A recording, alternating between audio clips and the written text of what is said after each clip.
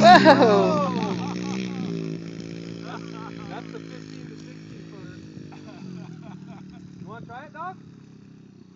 It's not scary, buddy.